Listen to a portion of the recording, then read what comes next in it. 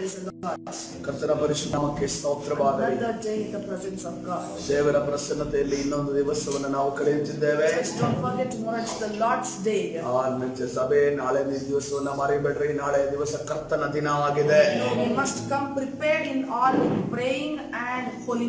ನಾನು ನಾವು ಪ್ರಾರ್ಥನೆಯಿಂದಲೂ ಪರಿಶುದ್ಧದಿಂದಲೂ ಪರಿಶುದ್ಧತ್ವದಿಂದಲೂ ನಾವು ನಾಳೆಯ ದಿವಸ ಸಿದ್ಧರಾಗಿ ಬರಬೇಕಾಗಿದೆ. During my days in Bangalore, ಆ ಮಂಗಳೂರು ಪಟ್ಟಣದಲ್ಲಿ ನಾನಿರುವಂತ ನೋ ಪ್ರೇ ಲೈಕ್ ಆ ಪ್ರತಿ ಶನಿವಾರ ನಾನು ಈ ರೀತಿಯಲ್ಲಿ ಪ್ರಾರ್ಥನೆ ಮಾಡುತ್ತೆ ಪ್ರಾರ್ಥನೆ ಮಾಡೋ I do word that need a change in my life. ನನ್ನ ಜೀವಿತದಲ್ಲಿ ಬದಲಾವಣೆ ಮಾಡುವಂತ ಒಂದು ವಾಕ್ಯವನ್ನ ನಾಳೆಯ ದಿವಸ ಸಬ್ಬತ್ ದಿನದಲ್ಲಿ ನನಗೆ ದಯಪಾಲಿಸಿ And as I used to pray unto God, ನಾನು ಯಾವ ರೀತಿಯಲ್ಲಿ ಪ್ರಾರ್ಥನೆ ಮಾಡುತ್ತಿದ್ದೇನೋ God used to speak to me through the sermon. ಅದೇ ರೀತಿಯಲ್ಲಿ ದೇವರು ವಾಕ್ಯದ ಮುಖಾಂತರವಾಗಿ ನನ್ನ ಜೊತೆ ಪ್ರತಿ ಭಾನುವಾರವೂ ಮಾತನಾಡುತ್ತಿದ್ದರು Hallelujah. Hallelujah. ಕರ್ತನ ಪರಿಶುದ್ಧ ನಾಮಕ್ಕೆ ಸ್ತೋತ್ರವಾಗಲಿ Even you must pray like this. ನೀವು ಕೂಡ ಹಾಗೆಯೇ ಪ್ರಾರ್ಥನೆಯನ್ನ ಮಾಡಬೇಕು ನೀವು ಸಿದ್ಧರಾದ ಬನ್ರಿ ದೇವರ ಮೋಶೆಗೆ ಏನನ್ನ ಹೇಳುತ್ತಿದ್ದಾರೆ my people today and tomorrow ನನ್ನ ಜನರನ್ನ ಇವತ್ತು ಮತ್ತು ನಾಳೆ ಅವರನ್ನ ಸಿದ್ಧಪಡಿಸು ಎಂದು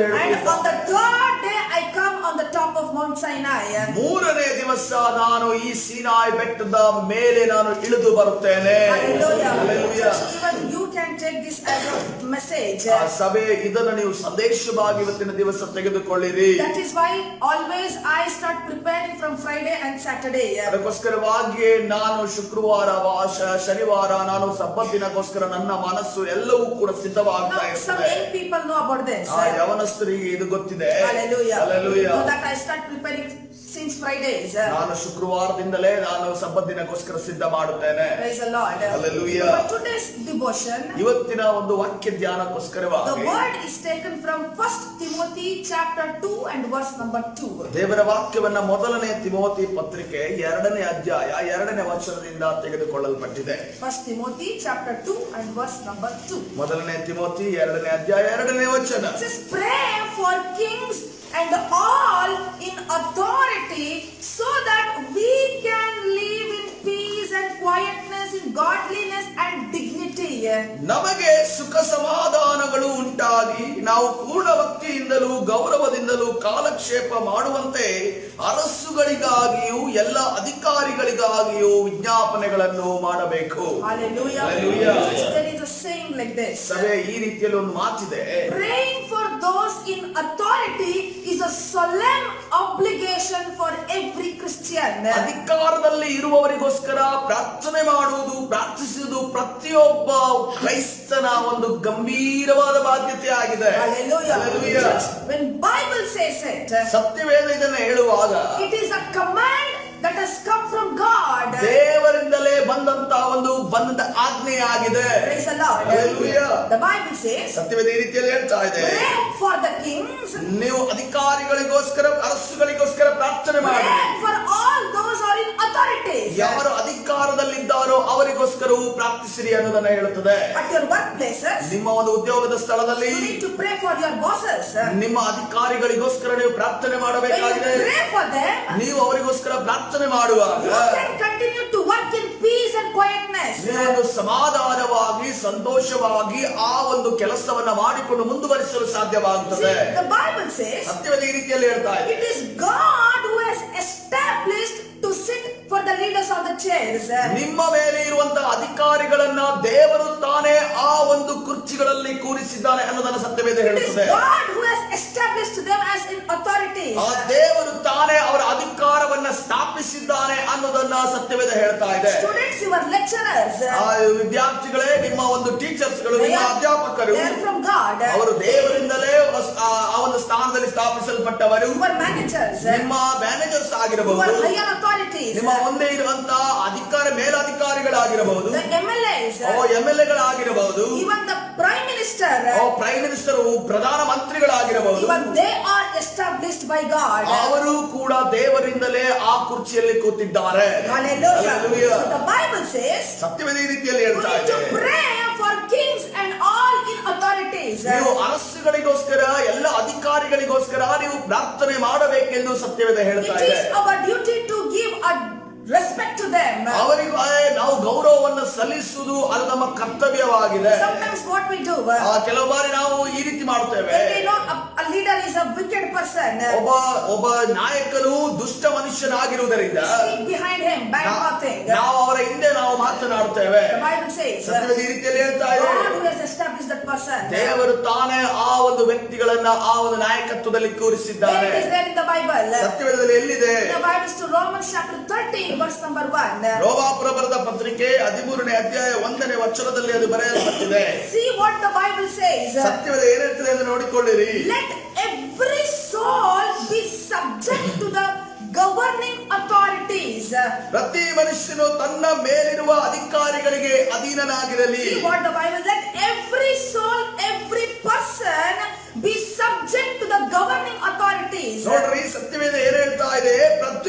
ಮನುಷ್ಯನು ತನ್ನ ಮೇಲಿರುವ ಅಧಿಕಾರಿಗಳಿಗೆ ಅಧೀನನಾಗಿರಲಿ. For there is no authority except from God and the authorities that exist are appointed by God ಯಾಕಂದ್ರೆ ದೇವರಿಂದ ಹೊರತು ಒಬ್ಬರಿಗೂ ಅಧಿಕಾರವಿರುವುದಿಲ್ಲ ಇರುವ ಅಧಿಕಾರ ನೇಮಿಸಲ್ಪಟ್ಟವರು Hallelujah. Praise the Lord. ಕರ್ತನ ಪರಿಶುದ್ಧ ನಾಮಕ್ಕೆ ಸ್ತೋತ್ರವಾಗಲಿ How we must pray for them ನಾವು ಅವರಿಗೋಸ್ಕರ ಹೇಗೆ ಪ್ರಾರ್ಥನೆ so ಮಾಡಬೇಕು that we can live in peace. ನಾವು ಸಮಾಧಾನದಿಂದ ನಮ್ಮ ಕೆಲಸ ಕಾರ್ಯಗಳನ್ನ ಮಾಡಿಕೊಂಡು ಅವರ ಕೆಳಗಡೆ ಹೋಗಬೇಕು. ನಾವು ಹೇಗೆ ಅವರ ಜೊತೆ ಅವರಿಗೋಸ್ಕರ ಪ್ರಾರ್ಥನೆ ಮಾಡಬೇಕು? ಮೊದಲನೇದಾಗಿ ನೋಡುವಾಗ. ನೀವು ಇದನ್ನ ಬರೆದುಕೊಳ್ಳಬಹುದು. ಮೊದಲನೇದಾಗಿ ಲೀಡ್ ನೋಡುವಾಗ leaders may lead a clean may and their hands are free from corruption. ನಿಮ್ಮ ಮೇಲಿರುವಂತ ಮೇಲಾಧಿಕಾರಿಗಳು ಅಥವಾ ನಾಯಕರು ಅವರು ಸ್ವಚ್ಛವಾದ ಜೀವಿತವನ್ನ ನಡೆಸುವ ಹಾಗೆ ಮತ್ತು ಭ್ರಷ್ಟಾಚಾರವಿಲ್ಲದ ಜೀವಿತವನ್ನ ನಡೆಸುವ ಹಾಗೆ ನಾವು ಪ್ರಾರ್ಥನೆ There is a word in the Bible. ಸತ್ಯವೇದದಲ್ಲಿ ಒಂದು ವಾಕ್ಯ ಇದೆ The mother of King Lemuel, ಆ ಲೆಮುವೇಲಿನ ರಾಜನಾದ ಆ ಲೆಮುವೇಲಿನ ತಾಯಿಯು you know, she teaches her son like this. ಹಾಗೆ ತನ್ನ ತನ್ನ ರಾಜನಾದ ಲೆಮುವೇಲನಿಗೆ ಅದನ್ನು ಈ ರೀತಿಯಲ್ಲಿ ಕಲಿಸಿಕೊಡುತ್ತಿದ್ದ ತರ್ಟಿ ಒನ್ ವರ್ಷ ನಂಬರ್ ತ್ರೀ ಅಂಡ್ ಫೋರ್ ಜಾನೂ ಮೂವತ್ತೊಂದನೇ ಅಧ್ಯಾಯ ಮೂರು ನಾಲ್ಕು ವಚನಗಳು. There it face name is do not son do not give your strength to women nor your ways to that which destroys kings. ನಿನ್ನ ತ್ರಾಣವನ್ನು ಸ್ತ್ರೀಯರಲ್ಲಿ ಒಪ್ಪಿಸದಿರು ರಾಜನಿಗೆ ವಿನಾಶಕರವಾದ ದಾರಿಗೆ ತಿರುಗಬೇಡ It is not for kings to drink wine, nor for princes intoxicating drink. ದ್ರಾಕ್ಷಾರಸವನ್ನು ಕುಡಿಯುವುದು ರಾಜನಿಗೆ ಯೋಗ್ಯವಲ್ಲ ಲೆಂಬುವಲನೆ ಅದು ರಾಜನಿಗೆ ಯೋಗ್ಯವಲ್ಲ. ಮದ್ಯವೆಲ್ಲಿ ಎನ್ನುವುದು ಪ್ರಭುಗಳಿಗೆ ವಿಹಿತವಲ್ಲ Hallelujah. Hallelujah. No, we need pray for our leaders so that they may ಅವರು ಶುದ್ಧವಾದ ಜೀವಿತವನ್ನು ನಡೆಸುವುದಕ್ಕೋಸ್ಕರವಾಗಿ ನಮ್ಮ ಅಧಿಕಾರಿಗಳಿಗೋಸ್ಕರ ಮೇಲಾಧಿಕಾರಿಗಳಿಗೋಸ್ಕರ ನಾವು ಪ್ರಾರ್ಥನೆ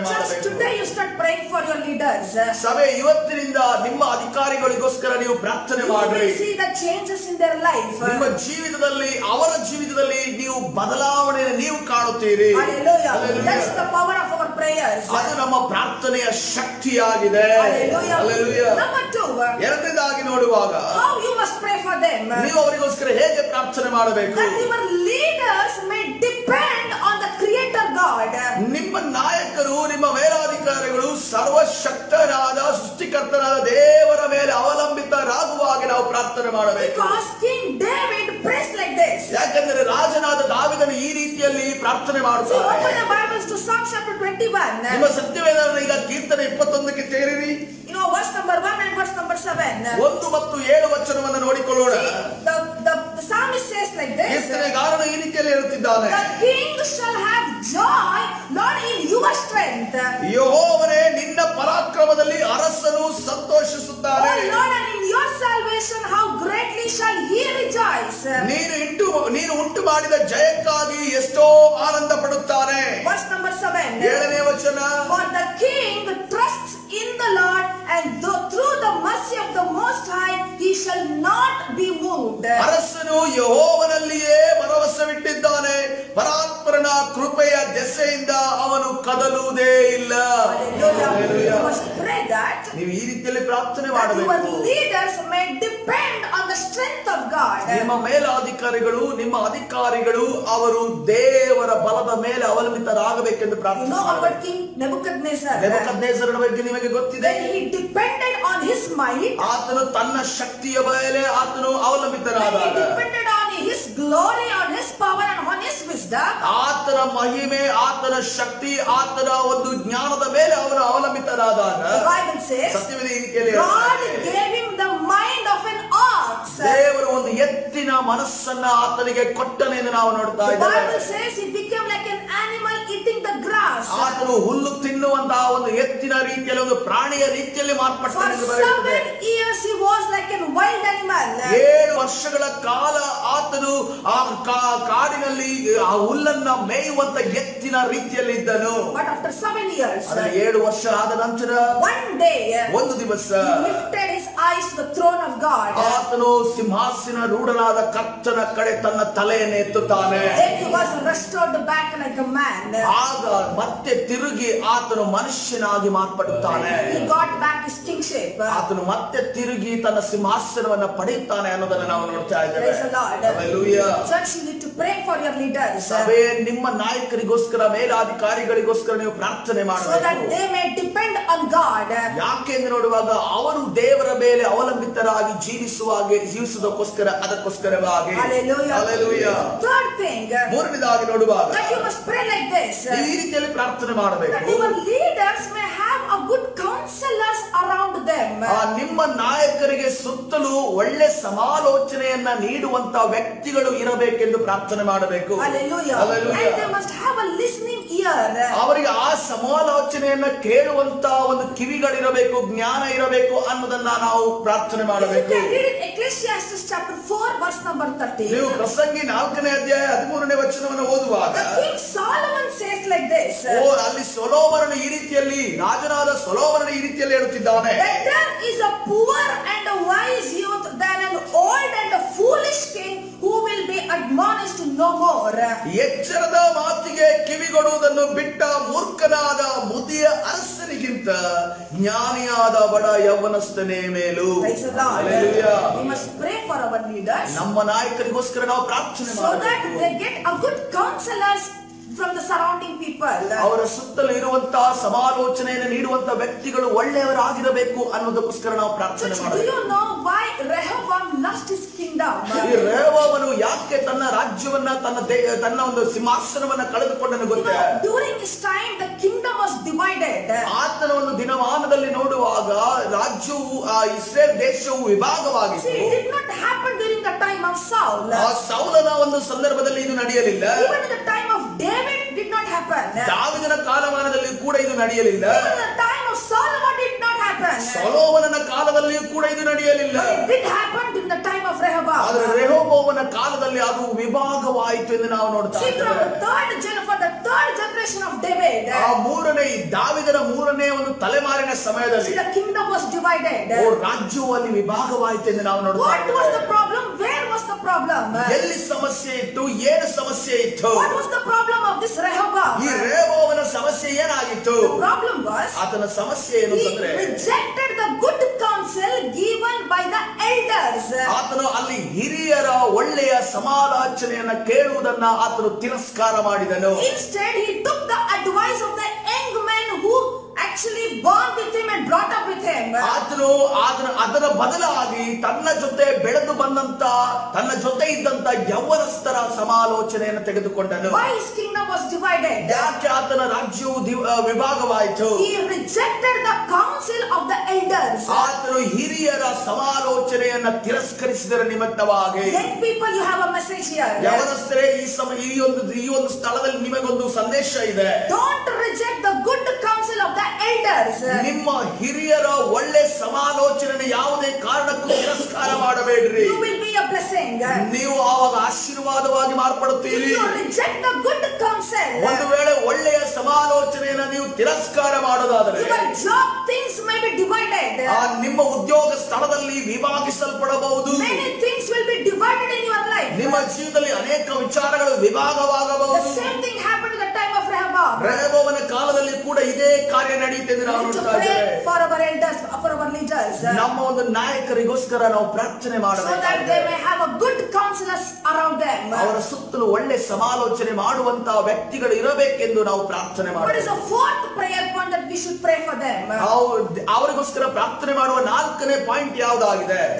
ದೇ ಮೇ ವಿತ್ ರೈಚಸ್ನೆಸ್ ಅವರು ನೀತಿವಂತಿಕೆಯನ್ನು ಎಲ್ಲವನ್ನ ಎಲ್ಲ ನೀತಿವಂತಿಕೆಯಿಂದ ಒಂದು ನ್ಯಾಯ ತೀರ್ಪನ್ನು ಕೊಡುವ ಹಾಗೆ ಕತ್ತನವನ್ನು ನಡೆಸಿದಕ್ಕೋಸ್ಕರ ಪ್ರಾರ್ಥನೆ ಮಾಡಬೇಕು. ಪುವರ್ ಅವರು ಮೊದಲನೇದಾಗಿ ಬಡವರನ್ನ ಪರಿಗಣಿಸಿ ಅವರಿಗೆ ನ್ಯಾಯವನ್ನ ಕೊಡಬೇಕು. Bible says in chapter 29 verse number 14 ಆ ಜ್ಞಾನೋಕ್ತಿ 29ನೇ ಅಧ್ಯಾಯ 14ನೇ ವಚನ ಏನನ್ನ ಹೇಳ್ತಾ ಇದೆ? King judges the poor with truth his throne will be established for ever ಬಡವರನ್ನು ನ್ಯಾಯವಾಗಿ ಆಡುವ ರಾಜನ ಸಿಂಹಾಸನವು ಶಾಶ್ವತವು ಎಂದು ನಾವು ನೋಡ್ತಾ ಇದ್ದೇವೆ. ದೇವರು ಈ ಒಂದು ರಾಜ್ಯವನ್ನ ಕರ್ನಾಟಕ ರಾಜ್ಯವನ್ನ ಒಳ್ಳೆಯ ಒಂದು ಮುಖ್ಯಮಂತ್ರಿಗಳಿಂದ ದೇವರು ನಮ್ಮನ್ನು ಆಶೀರ್ವಾದ ಮಾಡಿದ್ದಾರೆ.